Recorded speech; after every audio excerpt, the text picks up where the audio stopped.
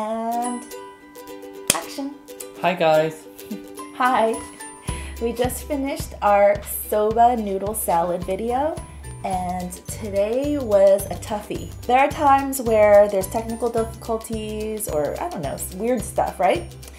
But this time it was literally just because of me. You know, you start off not being able to form your words and you get tongue tied. And those of you who make YouTube videos, I'm sure you can relate to this, right? Like there are the moments where you just have like nothing to say. You just feel like I could say nothing of importance right now. I don't know how many times I did that intro by the pantry. I did that scene like six times, seven times which is so weird because usually I'm like one and done or like maybe at the most like two, three times of like really trying. This time it was really awful. So if you're look, uh, it's light, refreshing, and satisfying at the same. Okay. So if you're looking for something that's easy to whip up, put a pot of boiling water on the stove and oh.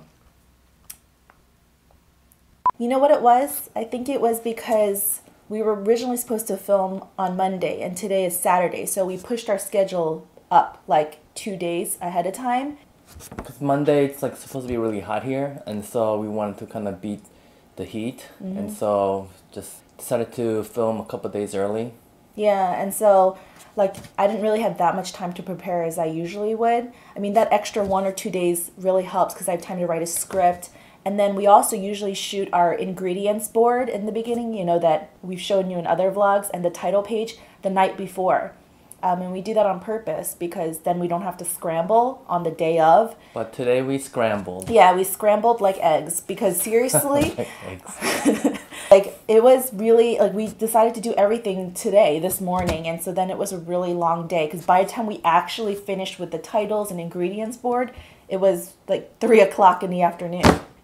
We had a late start today, so we had to shoot the um, overhead title page part and the ingredients board. And now it's past lunchtime and we didn't even start yet. And we never shoot that late where you start at 3 o'clock in the afternoon. So it was just really tiring, I think. But how do you think that the shoot went for you? Well, it's fine. I mean, overall it went okay. It was just long and unrehearsed and uh, mm. but the food came out really good. I kept getting distracted too like um, our windows would be open and like do you hear that car alarm going off right now? Like weird stuff like that would happen. Like i'd be like doing something and then all of a sudden i see a dog running around playing outside. I get so distracted here sometimes. Plop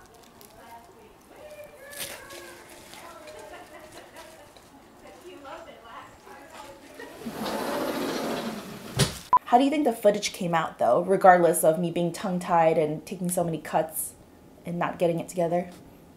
Uh, I think, it, I mean, it came out pretty well. Um, I have yet to see the real clips because when I'm filming, I'm paying attention to making sure it's recording, you know, just the composition and everything. So I'm focused more on that stuff instead of the actual like what she talks about or mm-hmm. um, you know like the, all the other stuff so uh, it's hard to so i have to go and re-look at everything that uh, we've done and, and see how the overall thing came out but yeah, like sometimes I like exactly what he said. Sometimes I wish that there was like a third person here because like there's like me who's like concentrating on actually cooking the food and making sure it works, it comes out, and then also coming up with something clever to say and then also making sure my words make sense. So I'm only focusing on that. So I don't really get to like focus if my hair is like askew like this or I don't know if it's a bad angle or if we didn't get all the shots we needed. And obviously I can't see what he's recording. So I'm just like having faith that he's catching all the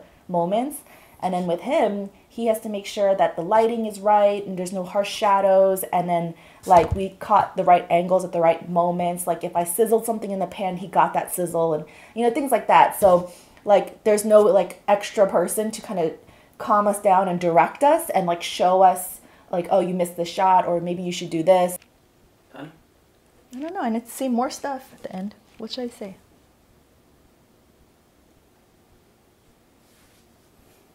No suggestions?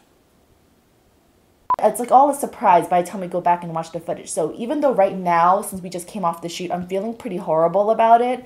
Um, who knows? Like maybe when we actually put it together right? And, and the editing, like if he ca- if he caught the right stuff and we cut out all my ums and buts and like what am I gonna say next and those kind of moments, then maybe it still came out good. But it always comes out good. Yeah. So, no matter how rough the day could be, like Yeah. um, you know, good recipe, you know, no matter how many takes it was, we still got it. So, I think the last time I had this much difficulty in terms of me being the problem was our easy shrimp pad thai, right? just that was a lot of footage, and I think this one will have a lot of footage. So, A lot of wasted footage, and they're not even like good bloopers, right? Because it's just like me being all angry. Because you know how it is. Don't you beat yourself up when you when you can't do it right? When I step away from the moment, I'm like, dude, it wasn't that big of a deal. Just calm down. It's not that big of a deal. But in the moment, you just feel like the lights on you, the cameras on you. You feel like everything's so permanent, and um, I don't know. So I think that like when it's stuff like this where I'm just like talking to you guys, so natural, it just flows and it's fine. But whenever I'm like teaching, like I have so much added pressure. But well, I'm the opposite way. I have a hard time talking to you guys. I, I mean, we started switching to this style of vlogging because this is more of like a personable way to kind of explain how we feel um, or how the shoot went in our eyes um, and see what you thought. But anyways, if you try this recipe, you can look at the video um, on our other channel, um, Chef Julie Yoon videos, and the recipe is called soba noodle salad. Um, it's delicious, it's light, refreshing, and I think you'll really like it. And it'll be like a go-to recipe because it is really quick to whip up. It's really good, great for like summer and warm days. Yeah, yeah. So um, yeah, well, that's what we're gonna eat soon, right after this, actually. And um, if you do make it, remember to let us know by showing us by using the hashtag Chef Julie Yoon. On Twitter, um, Instagram,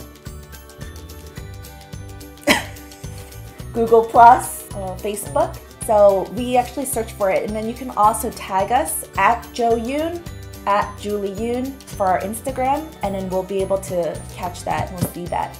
Um, so, anyways, I hope you enjoyed watching our video and this behind the scenes, even though we don't have a lot of extra footage for you. Um, we'll leave you with some bloopers if we can find some that are actually not me being angry. so, we'll leave that for you. So I hope you enjoyed watching this video, and if you did, remember to let us know by pushing like, leave a comment down below, and subscribe to our channel. and we'll see you next time. Little uh, eager beaver this time. Okay, thanks so much for watching. thanks so much for watching. we'll see you next time. Bye. Bye.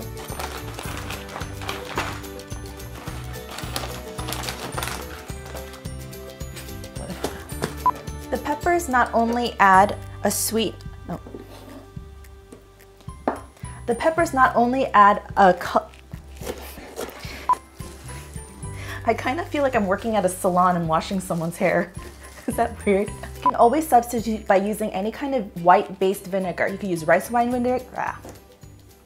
So I'm just gonna plate it up and give it a taste. I did it again.